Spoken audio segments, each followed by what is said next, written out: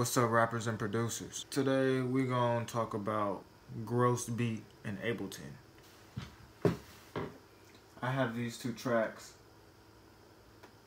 and these two tracks are just the main melody and a synth that goes underneath the melody to make it sound more full. So we're gonna click one and we're gonna mute the effects that it has. So this is what it sounds like. Just a raw instrument that I played on my uh, piano.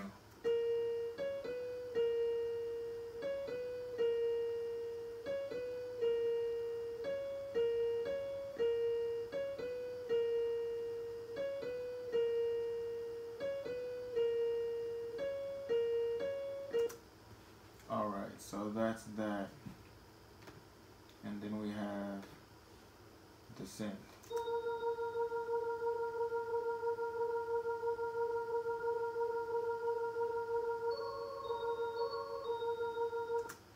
So, yeah, so that's that. And on the synth, I just have the the mix gel, which is the the regular compressor that I use.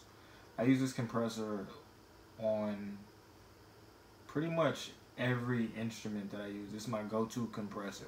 And the reason why it's a go-to compressor because you can sidechain things to it and you can sidechain whatever to whatever track that you want it to and you can EQ. It's like a little quick EQ as well. And then you have the little threshold, you have the meters right here and you can control the uh, decibels. That's what the dB stands for in case anybody was wondering.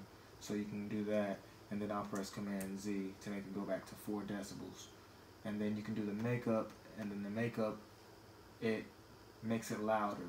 Just uh but we'll get we'll get more into that in a different video. Alright so now we're gonna hear it together. I'm gonna mute these.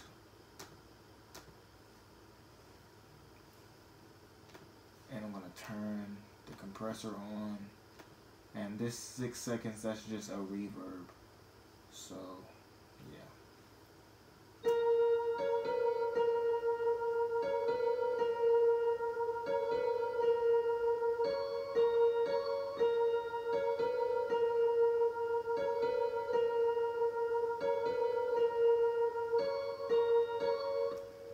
Alright, so that's what it sounds like together. So after that, I started with the kicks Oh, okay. Okay. So on the kick, it looks like I don't have anything. So I just have the kick, and then we just jump to the 808. In the 808, I have the, the kick boom, and we have the the compressor. Now, the kick boom, we can get into that into a different video, but um, it makes it punch more.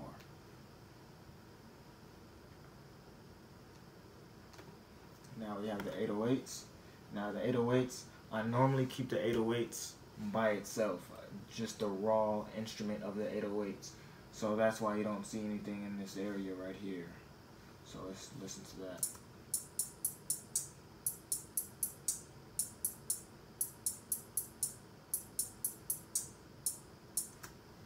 So that is the raw instrument and I may add the the compressor, the mix gel. I may add that just so it can um, sound more complete and may tweak it a little bit, but we'll see. But usually I don't like to do that much with the 808s because they normally sound pretty good.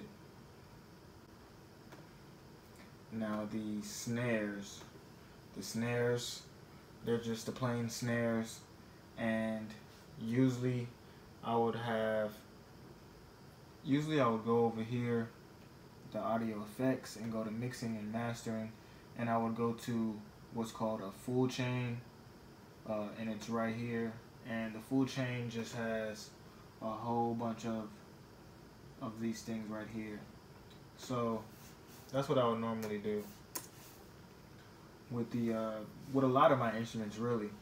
Uh, get that full chain to tweak um, how it sounds and stuff like that. And we can get into that into a different video.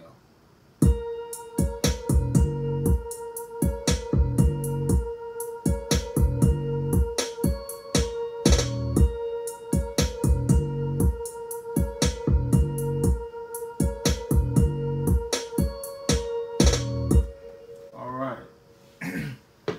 now that sounded pretty good. Um, so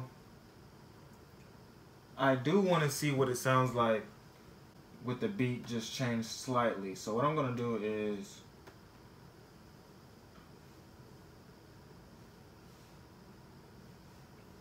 uh, and then we're gonna go to export.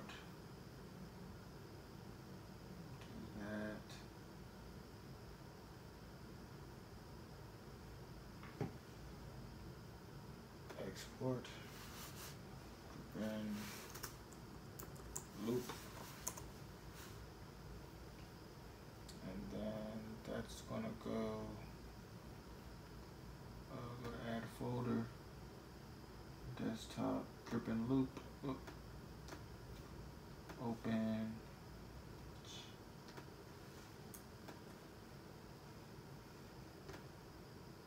okay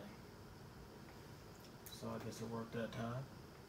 And then we're going to go to flatten. And then we go to it. And then we go to go repitch. And then I'm going to go to that. Now. We got to get rid of that. Scroll all the way in. All the way to the beginning.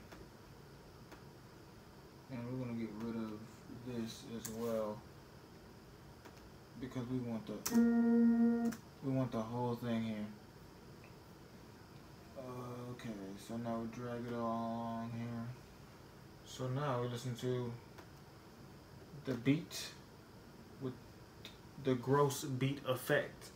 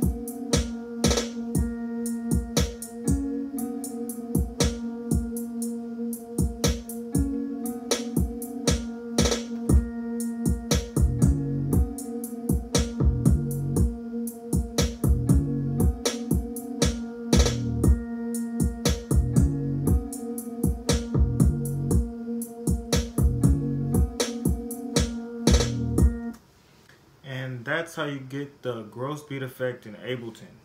Find a way to get your own effects. There's always a way to do what you want to do within your DAW without paying for some effect to do it for you. Figure out your DAW and master it. Become the next super producer. Now, with all that out the way, tell me if you like the beat, and if you did like the beat, Get a thumbs up if you didn't. Get a thumbs down. And subscribe to the channel for Asid Tone Music for all social media. Look at the Instagram because the Instagram I put on the little snippet videos. If you don't have time, if you're like going to work and you want to see just what I'm going to be talking about throughout the whole video, then check out the preview for the Instagram on the Instagram videos. If you want to do some music, reach out. If you need anything mixing done, mastering done, just let me know. And I'm gonna do some more videos. And this is the construction video, part one of construction, which is the uh, which is the what the fuck is this shit called? With the gross beat. All right, so that's the gross beat. So next episode, I'm gonna be talking about the effects that I use to mix my instruments. So y'all stay tuned for the next episode.